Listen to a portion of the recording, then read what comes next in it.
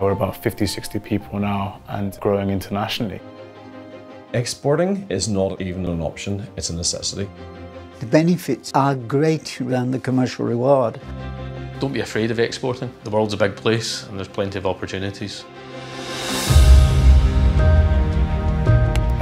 Exporting is a massive part of our business. FinTech is very regulated as a market. Now we're live in the USA, Australia, Canada, New Zealand, parts of Europe and going to Africa, the Middle East and Latin America. So having the assistance of the Department for International Trade helping us find out what's the quickest path into those different countries is very useful.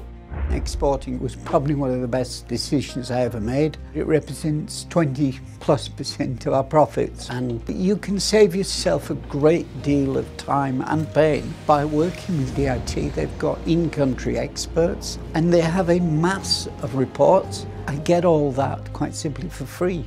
We couldn't do what we do unless we actually work with other countries and sell internationally. The biggest barrier to exporting was the fear that you couldn't do it. But DIT have always been there championing UK companies to actually enable you and to encourage you to keep going to the markets, keep going to where people are, because that's the only way to do business. Exporting for Scottish Leather Group is actually crucial to our success. We export over 85% of the products we make.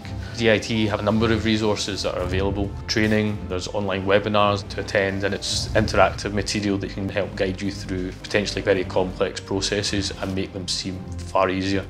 Go and take the best of Britain to the world. They're actually wanting it and I wish I'd done it 25 years ago.